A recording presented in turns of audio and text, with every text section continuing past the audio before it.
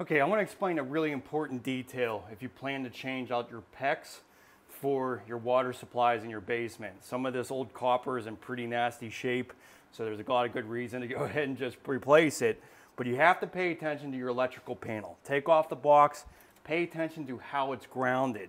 If it's most of the time in older homes, they used to ground everything to the main water supply. So pay attention to where that's at and make sure that you get your electrical panel grounded to the meter side of it. So I'll just show you real quickly how we go about doing that. It's a really quick, simple process.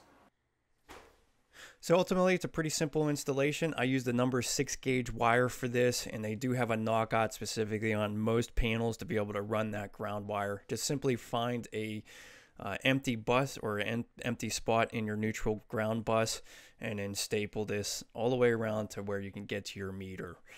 And uh, now this was a sandstone foundation, so it was kind of like Swiss cheese. It was really easy to use these little one hole straps uh, and, and anchor this into place.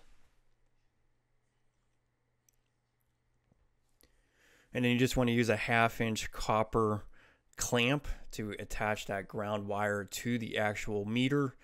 Uh, just be sure you uh, sand down that copper. You definitely want to get a good uh, connection to that piping.